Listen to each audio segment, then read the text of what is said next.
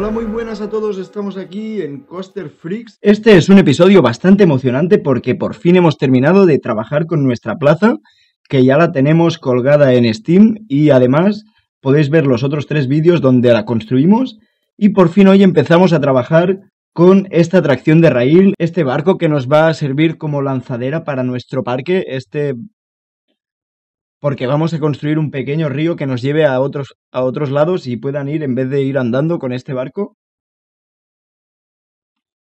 Como veréis, de momento hemos hecho un recorrido provisional y lo que vamos a hacer es empezar a trabajar con los edificios de esta atracción. He decidido repartirlo en tres edificios que van a ser como la entrada, el embarcadero y digamos un pequeño porche en medio del camino por si se forman largas colas. Además es el sitio donde se junta el fast line con la cola normal. Y en, la, en el edificio de entrada a esta cola se divide en ese momento también la, la cola del fast line. Y lo que vamos a hacer es dividir como un poco las tres temáticas en las cuales el embarcadero va a ser como más un puerto, el porche va a ser un porche bastante simple, de madera con una textura muy marcada, y este edificio que nos va a servir como una entrada, una bienvenida a nuestra atracción, va a tener como una decoración como si fuera un museo marino por dentro. Ahora vamos a hacer un poquito por encima las estructuras tanto del porche como del puerto y el museo por dentro lo vamos a hacer con un nivel de detalle inferior a todo lo otro porque creo que no es tan importante y no se aprecia tanto y a no ser que tú entres a mirar cómo es por dentro no lo vas a ver completado. Entonces, como veis, primero estoy marcando unas bases para saber cómo va a ir la cola, cómo va a ser el terreno. Y a partir de aquí vamos a empezar a modificar y construir. Es una técnica que estoy utilizando mucho de, construir siempre un suelo, ya sea para el camino o ya sea para un edificio o una atracción, porque Planet Coaster, por mala suerte, no trabaja muy bien los caminos y las plazas. Por ejemplo, es muy difícil hacer una plaza. Y creo que si aplicamos un suelo y le damos una textura, aparte de darle un aspecto más bonito y con más estilo, le va a dar como una buena base a, nuestro edificio. Además, aquí lo bonito es que estamos trabajando en una superficie por encima del agua, que va a ser un poco como un muelle, y le vamos a dar una textura de, de madera. Al aprovechar que estamos encima del agua, estos edificios van a ser con mucho aire por dentro, que pueda correr mucho el aire por dentro porque le va a dar más sensación aún de puerto, de, sitio no oficial para estar. No es un sitio donde vas a ir a quedarte ahí, sino que solo accedes por algún motivo, o más bien como un edificio de paso. Y como veis, estamos trabajando un poco la simetría también. Y estamos usando este color blanco y rojo para el edificio del embarcadero, porque va a contrastar con nuestro edificio de la entrada, que va a ser de un tono más azulado. Aunque os voy a colgar los tres edificios si queréis en Steam para poder compartirlos, para poder ponerlos en vuestros parques o para poder ponerlos... Como podréis ver, la madera es la textura que más me gusta en realidad de Planet Coaster porque creo que la trabajan muy bien, tienes muchas tonalidades, les puedes cambiar a todas, a casi todas las piezas de madera, les puedes cambiar el color y eso ayuda a que un mismo edificio con este tono de madera pueda coger tonalidades muy, muy diferentes eh, según la paleta de colores que uses. Os recomiendo que a veces, pues antes de hacer una casa, miréis en Google mismo, pongáis Google Imágenes, paleta de colores, y os quedéis con dos o tres colores que juegan muy bien juntos y los vais a ir jugando durante todo el edificio. Por ejemplo, aquí es algo mucho más básico, no es un juego de colores, es más bien que haya maderas más oscuras y más brillantes. Y como veis, lo que estamos haciendo aquí es interesante, es hacer como una textura de una red, que como podéis ver, aunque es una red de madera, se aplica al suelo, estas sombras queda muy bonito que se aplique al suelo, y además cuando pasan objetos en movimiento por ahí, las sombras interactúan con estos elementos, que es algo muy interesante que tenemos que aprovechar porque Planet Coaster nos lo, nos lo está jugando a nuestro favor. También vamos a poner luego plantas para dar este mismo efecto y ya veréis que queda muy bonito. Entonces vamos a ir terminando de detallar que todas las líneas cuadren porque a veces es un poco difícil, sobre todo cuando trabajas con ángulos. Y como veis aquí estamos poniendo las plantas para darle esta textura en nuestro suelo. Además es algo que le da realismo porque es un edificio que podríamos encontrar en un parque de atracciones o quizás en la vida real incluso. Y lo bonito de jugar con las maderas también es que es muy fácil aprovecharlas para hacer otras formas y darle más envoltorio a nuestro edificio. Y para acabar un poco de cerrar el edificio, lo que vamos a poner también son vallas, no solo usando las que Planet Coaster plantea, sino también crearlas un poco nosotros a partir de maderas, para así darle más profundidad. Porque creo que si solo usas las de Planet Coaster te limitan bastante, te limitan bastante porque tienen una altura determinada, porque tienen una distancia que no puede cuadrar en todos los sitios. Y lo que puedes hacer entonces es jugar con esas piezas y otras para juntar y hacer otras vallas aún más completas que las que simplemente te ofrecen. Como veis con la madera aquí, si la duplicamos y hacemos como este doble vallado, queda bastante interesante. Lo he tenido que separar por piezas porque al ser todo tan piezas cuadradas y estar tan lleno, era un poco difícil trabajar, así que me lo he separado como en diversos grupos y luego ya cuando lo tenga todo montado lo voy a poner en el mismo grupo. ¿Veis? Como decíamos, podemos aplicar las, las vallas que ellos nos proponen y eso le da como una esencia de realismo que el juego no tiene de por sí. Además de hacer las vallas de afuera, también vamos a trabajar un poco con las vallas interiores para la cola, más que nada, como para evitar que la gente se cuele. Y como son vallas diferentes, las de las que ponemos como más de protección para que no caigas o para que no te cueles, vamos a hacer vallas diferentes para que tengan otras texturas. Tienen algunas que están bastante bien, como esta de madera que voy a poner, pero es un poco complicada a veces de encajar donde quieres. Así que lo que vamos a hacer es con otras piezas aprovechar y disimular los errores que, que no se pueden arreglar o son casi imposibles. Y al final también le vamos a poner algún animatrónico para darle un poco de vidilla a nuestro Porsche, para que tenga un poco de animación. Y vamos a poner un pirata observando a ver cuándo viene el próximo barco. Como veis, es muy difícil siempre poner Planet Coaster. Esto es una de las peores cosas que ha hecho, poner una caja tan grande para los animatrónicos, para la parte de abajo, porque es muy difícil esconderlos en sitios que son muy concretos. Como que están pensados para poner en cualquier sitio que sea en el suelo. Y el edificio ya tiene una forma bastante más acabada, así que vamos a pasar al otro, que es el de entrada a nuestra atracción.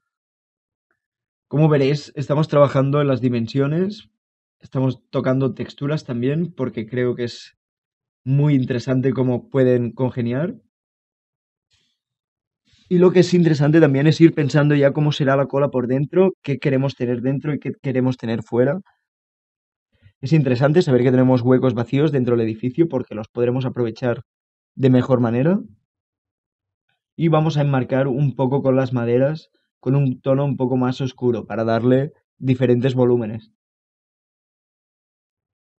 vamos a añadir balcones y como veis, como estamos usando una, un principio bastante simétrico para hacer el edificio, lo vamos a duplicar en vez de ponerlo otra vez, que es mucho más fácil y te ahorras mucho más tiempo. Y esto lo vamos a aplicar en muchos aspectos porque en esta casa hemos trabajado en muchos ámbitos.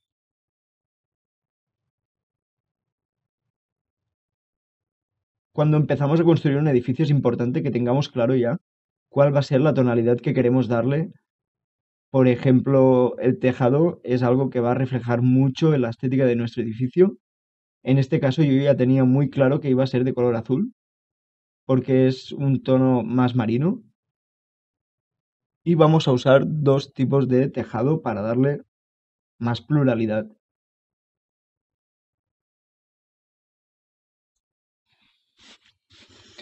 Vamos a ir añadiendo detalles de diferente tamaño. Por ejemplo, vamos a trabajar con las puertas, a la vez que vamos a trabajar también poniendo maderas o, esquinas.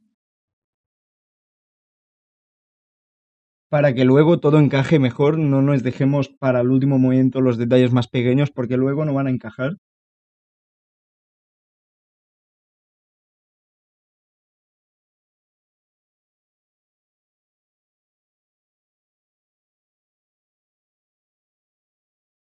Y también vamos a aprovechar un poco el edificio y le vamos a poner una tienda para que la gente interactúe más con este edificio.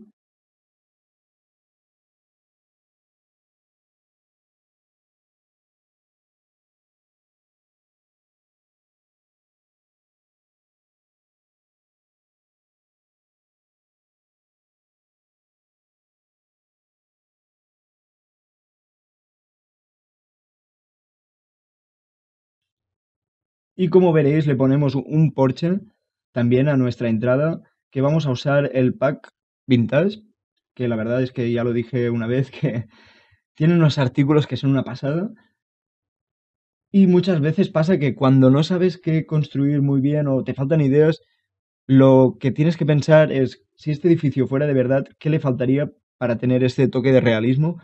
Y cuando haces eso, curiosamente lo que te pasa es que se te ocurre una idea y esta idea viene seguida de 10 ideas más que son mucho más creativas y mucho más irreales, pero le aportarán una esencia mucho más grande a tu edificio que no podrías darle sin pensarlo. Tienes que pensar bastante a la hora de hacer un edificio, tienes que imaginártelo un poco cómo va a ser, aunque no esperes que la idea final sea muy fiel a lo que estás construyendo, porque los edificios siempre empiezan pareciendo muy feos y acaban muy bonitos. Como veis aquí a mi edificio le faltaba un poco de base, así que decidí jugar con maderas blancas para darle fuerza y que esté como bien anclado al suelo. Al igual que voy a usar las maderas para jugar y decorar bastante las zonas de las zonas que me puedan quedar más vacías, también he aprovechado para hacer un pequeño arco para entrar a la atracción. Y esto le va a dar como una entrada más convencional, ¿no? Que, y esto le va a añadir un poco más de detalle a nuestra entrada, ¿no? Que no sea tan simple. Incluso aquí podemos esconder las maderas, pero que estén ahí solo para dar ese color. Esta idea es bastante buena, me gustó.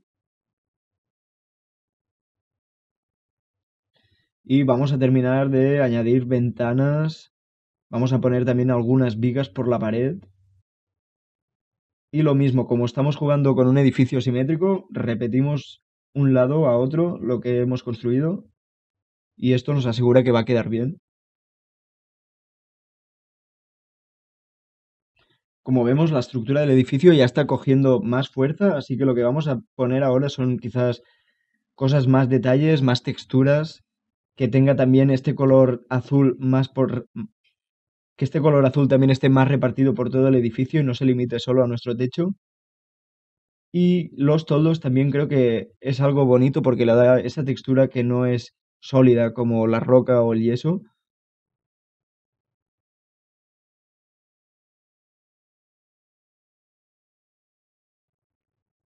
Y algo que también tenemos que ir haciendo ya es poner la iluminación, porque como son objetos de decoración al fin y al cabo, así que ya empezamos a plantear un poco qué colores vamos a querer. Tenía claro que lo quería de un color cálido, pero me gustaba bastante la idea de jugar con algún color azul mezclado y algún rosa. Esta lámpara de color rosa, la verdad es que le daba un color bastante auténtico.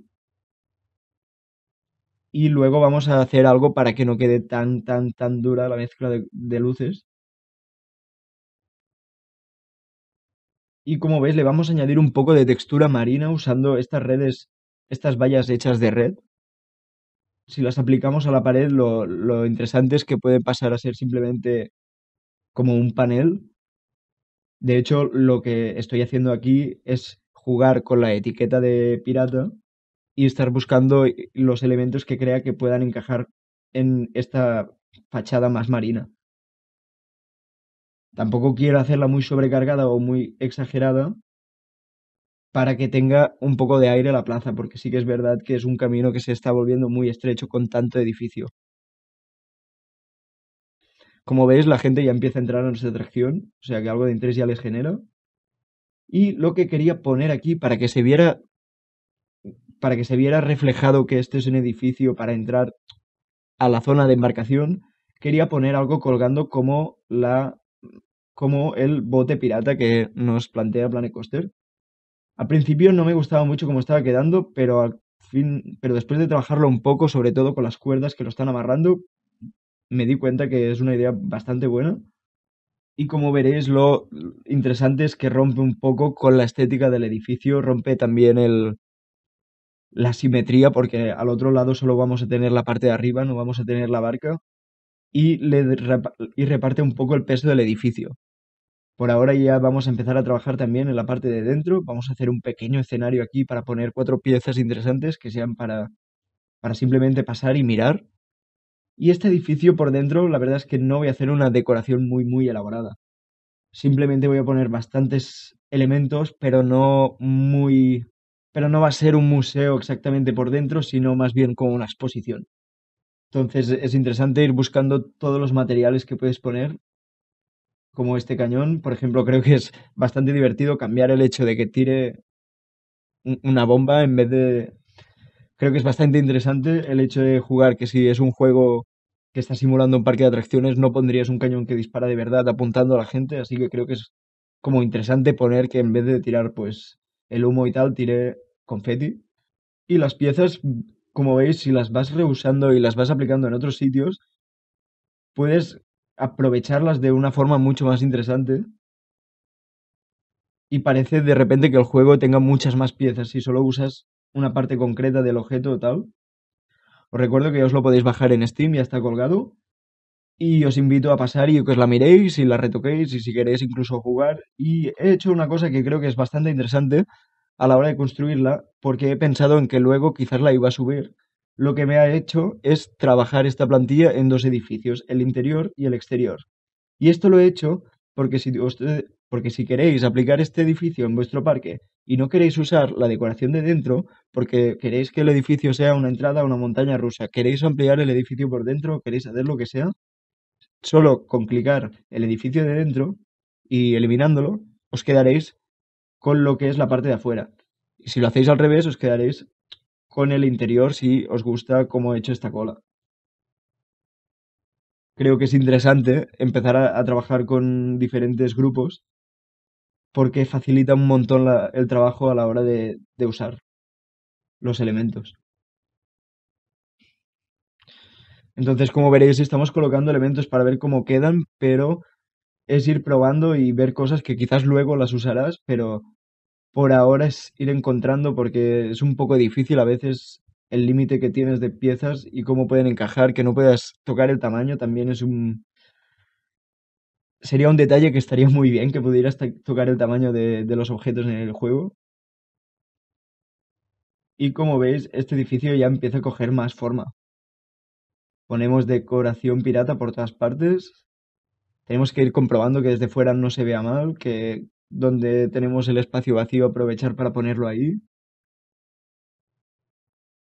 Y ya es cuestión de ir poniendo los últimos detalles. Como veis también estamos intentando jugar un poco el, color dentro. No lo hemos marcado tan fuerte porque es como una parte menos vistosa del edificio, no tienes una visión tan amplia cuando estás aquí dentro pero sí que hemos mantenido un poco el estilo del edificio. Entonces, como veis, podemos cambiar piezas que ya tenemos puestas por otras porque nos parece que van a quedar mejor ahí. Y de hecho es ir probando porque es como te das cuenta que, queda mejor. Por ejemplo, aquí en vez de tapar como iba a hacer con estas maderas, las iba a tapar. En vez de hacer eso, lo que he aprovechado es para poner unos barriles encima como si fuera una bodega y la verdad es que queda bastante bien, incluso lo puedes duplicar y hacer un poco así para que parezca hecho adrede, aunque en realidad solo estamos tapando una pieza que nos molestaba. Y aquí también vamos a marcar el edificio por dentro con estas líneas muy importantes.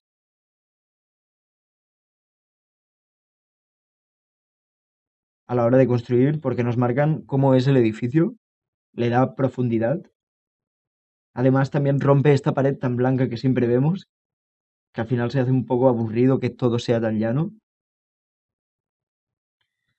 Y finalmente en esta parte vamos a colocar unas luces, por eso vamos a aprovechar de poner un par de maderas para tapar ese tejado que se veía por fuera. Incluso vamos a poner unos pequeños banderines para tapar un poco más. Muy bien, aquí vamos ajustando las pequeñas piezas. Ahora ya es más cuestión de ir rellenando los espacios y sobre todo acordarse siempre de, poner la iluminación a los detalles que queremos destacar, tocar el color de la luz que no sea solo lo que nos ofrecen y hacer los últimos detalles para ir terminando de ajustar. Ahora que ya estamos acabando ya podemos construir el tejado en buenas condiciones porque ya no necesitamos tanta visión si empezamos a construir los edificios con el tejado ya hecho y las paredes puestas, será mucho más difícil luego hacer el interior, así que se tiene que ir construyendo a la par un poco, porque sí que no puedes construir un interior sin el exterior, Pero si construyes el exterior, para hacer el interior luego te va a ser muy difícil a no ser que sea un sitio muy grande. Y la verdad es que como más grande es el sitio es más difícil de hacerlo bonito. Como veis vamos a seguir aprovechando las mismas piezas, con las mismas texturas. Esto ha sido todo por hoy chicos, muchas gracias, espero que os haya gustado el vídeo. Voy a seguir colgando más, seguid conectados, seguidme, suscribiros y dar me gusta o dejar comentarios diciendo lo que pensáis. Os invitamos a pasar por Coaster Flix en la workshop, que pegáis una ojeada y os miréis los, los artículos que hemos creado y nos vemos en el siguiente vídeo. Muchas gracias.